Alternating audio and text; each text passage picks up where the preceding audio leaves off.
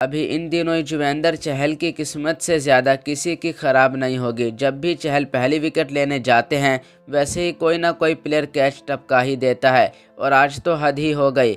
Indian team ने series की शुरुआत जीत के साथ कर दी है, जिसमें अगर हम बैटिंग की बात करें तो कैप्टन रोहित शर्मा, ईशान किशन, श्रेयस अय्यर का बड़ा कंट्रीब्यूशन था।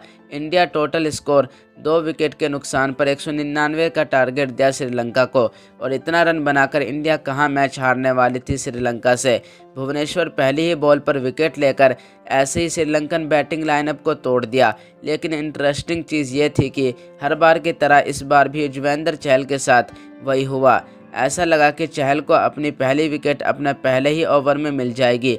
लेकिन श्रेयस अय्यर को यह मंजूर नहीं था। अय्यर ने कैच ड्रॉप कर दिया, बट बॉल जैसे ही हवा में गई, चहल अपना पुराना दर्द भुलाकर सेलिब्रेशन करने के लिए निकले, क्योंकि इस मैच में रवि बिश्नोई नहीं खेल रहे थे।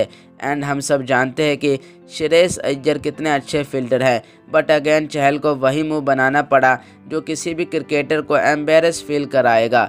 पर उसी ओवर में एक एलबीडब्ल्यू की भी अपील हुई और वो भी नॉट आउट निकला। लेकिन ये सब फ़र्क नहीं पड़ता, क्योंकि इंडिया ने इस मैच को बासठ रन से जीत लिया है। तो गाइस आप सबका चहल के इस रिएक्शन पर क्या कहना है कमेंट करके ज़रूर बताना। एंड वीडियो पसंद आई होगी तो वीडियो को लाइक करके क्रिकेट से जुड़ी इन्फॉर्मेटिव वीडियोस देखने के लिए चैनल को ज़रूर सब्सक्राइब करें। Thanks for watching